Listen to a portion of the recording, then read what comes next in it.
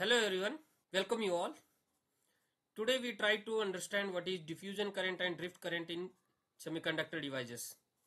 Starting with diffusion current.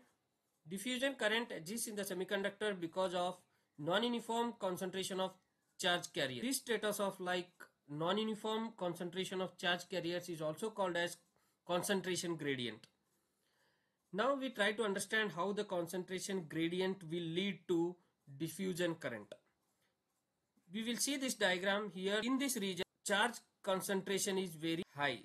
Here the charge concentration is very less. So as a natural tendency and also like poles repel each other, these charge carriers which are present in heavy, heavily concentrated area wish to or tend to move towards less concentrated area. So as a part of which this movement of charges will lead to a current called as diffusion current. And this this movement of charges will happen till the till the equal distribution of charges can happen. Like this like this diagram. Fine. Now let us observe. We define diffusion current in terms of diffusion current density. You people may ask like what may be the reason for current density? Why not a simply diffusion current? It's very simple these semiconductor devices are of solid structure. For the solid structure current can be taken with respect to current density not with not like a linear current. So as a part of current density you can observe here jn is equal to ia divided by a. So jn is current density so this n suffix n lead to electron related current density.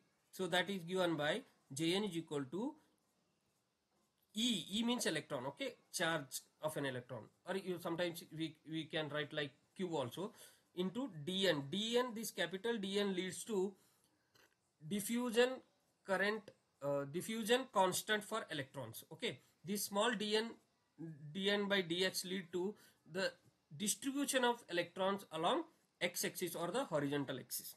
Coming to Jp, this is a current density due to holes which is given by minus E. E means electron, electron charge you can say like Q also you can say. Okay. The, and this capital dP lead to a constant called as diffusion constant for holes and dP by dx is the rate of change of holes with respect to horizontal axis.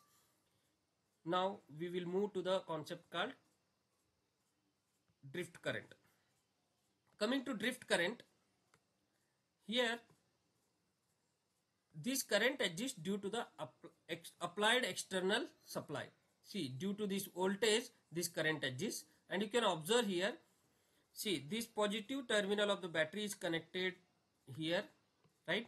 So as a part of which this, this uh, wire is heavily uh, positive charged and this this wire is negative charge because it is connected to negative terminal of the battery as a part of which this negative charge or electric field will attract the holes. See these holes are attracted towards negatively uh, negative terminal of the this battery related wire. Fine. So coming to here this positive charge positive electric field will attract electrons. See here. So this with electrons are attracted towards that. So that flow of electrons towards the left hand side and flow of holes towards the right hand side. Fine? So this is this both the both the flow of electrons and both flow of holes will constitute a current called as drift current because it is uh, means uh, externally driven current externally driven current. Fine? So that's what the name is drift current. Coming to here the drift current is given by equation J N is equal to N Q sorry N mu P mu N into small e lead to charge okay N lead to number of charges okay mu N lead to mobility of electron and this capital N lead to applied electric field this mu N into e is called as another term called drift velocity. Okay. so you can like you can write like v of d drift velocity okay mu n into d uh, e is called as drift velocity and sometimes this jn can also be given by sigma into e okay e n and mu n all these three terms are given like a conductivity into applied electric field so in a similar way the current drift current density for the holes is given like jp is equal to e p mu p into e. Now what is this e electron? What is p? Number of sorry number of holes. Okay e is charge of an electron. Okay fine. Next mu p it is it is mobility of holes e is applied electric field. Once again this e p mu p will lead to a conductivity and e is applied electric field that's what j is equal to sigma into e. Or else you can have mu p into mu p into e as a drift velocity also. Okay vd okay it is just similar like a jn current drift current density due to electron and jp is drift current density due to holes. Now next term is like overall current due to electrons and overall current due to holes. What it will be it will be the combination of current density due to holes that is diffusion current density and drift current density. So that's what we can have like this. So here jn is equal to it is a current density due to diffusion and drift both. Okay.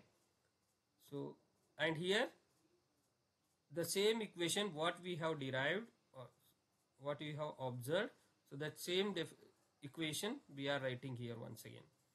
Okay? So this is a drift current. This is diffusion current.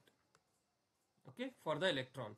Similar way this is the equation for drift current and diffusion current with respect to holes. That is jp okay? The overall current overall current in the semiconductor is given by actually we are going with current density only because it is a solid structure that overall current density is given by j is equal to jn plus jp. Okay? So this jn will be the combination of drift and diffusion related electron current density. Here jp is drift and diffusion related hole current density and both will constitute a overall current density for the semiconductor. I hope you understood the concept. Thank you for your patient listening. We will see in the next upcoming concept. Thank you. Have a nice day